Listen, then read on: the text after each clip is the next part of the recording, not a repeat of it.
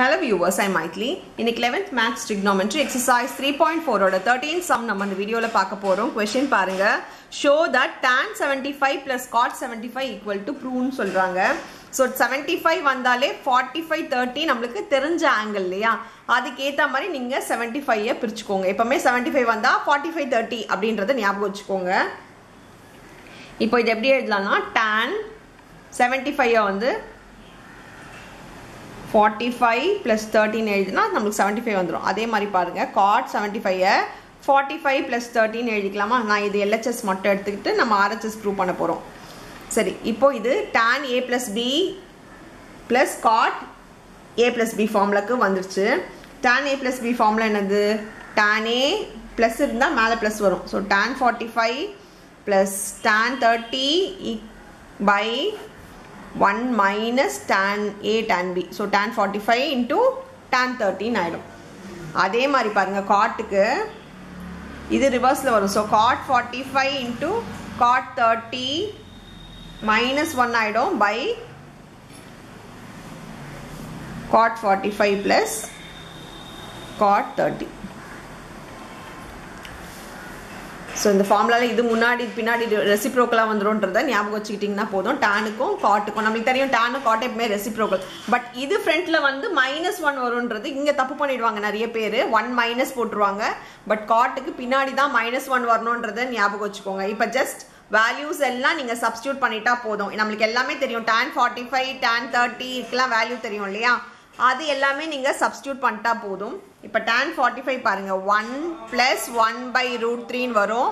By one minus tan forty five ஒன்று tan thirty வந்து one by root three அதே மாதிரி பாருங்கள் ப்ளஸ் காட் ஃபார்ட்டி ஃபைவ் வந்து நம்மளுக்கு காட் ஃபார்ட்டி ஃபைவ் நல்லாவே தெரியும் நம்மளுக்கு. ஒன்னுன்னு சொல்லிட்டு. So one into one by sorry root D root three minus one by cot forty five வந்து ஒன்று ப்ளஸ் ரூட் த்ரீ இப்போ இதை சால்வ் பண்ணிக்கலாம்.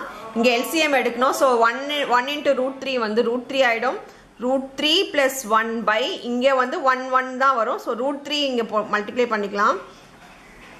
பை ரூட் த்ரீன்னு வரும். So root three minus one by root த்ரீன்னு வரும். டினாமினேட்டர் ரெண்டுமே சேமாக இருக்கும் போது டினாமினேட்டரை நீங்கள் கேன்சல் பண்ணிக்கோங்க. ப்ளஸ் மேலே பண்ணால் root three minus one by one plus root த்ரீன்னு வரும்.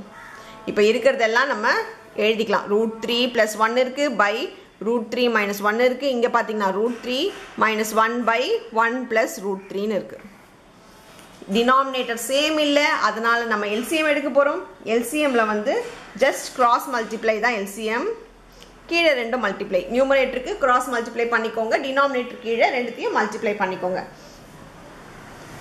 மேலே பார்த்தீங்கன்னா ரெண்டுமே சேம் இங்கே பார்த்தீங்கன்னா root three plus one into root three plus one தான். அப்போ நம்ம ஃபார்முலா யூஸ் பண்ணிக்கலாம். A plus B the whole square formula A square plus B square plus two AB two ஏபினா two root three into ஒன்னா plus two root three ஆகிடும் இங்கே பண்ணும்போது A square plus B square minus two AB by கீழே பார்த்தீங்கன்னா root three plus one root three minus ஒன்னா இங்கே root three plus ஒன்னு இதை எழுதிக்கலாம். அப்போ ஏ ஸ்கொயர் மைனஸ் பி ஸ்கொயர்ன்ற ஃபார்முக்கு இதை நம்ம கொண்டு போயிடலாம்.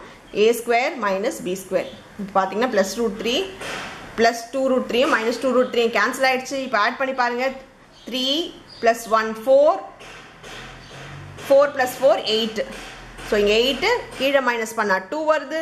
கேன்சல் பண்ணோம். நம்மளுக்கு ஃபோருன்னு வருது which is equal to our RHS so hence ப்ரூவ்டுன்னு நம்ம எழுதிடலாம். நம்ம ஃபோர் ப்ரூவ் பண்ண சொல்லியிருக்காங்க. நம்ம இந்த சம்மில் ஃபோருன்னு சொல்லி ப்ரூவ் பண்ணிட்டோம். அவ்வளோதான் இந்த சம் தேங்க்யூ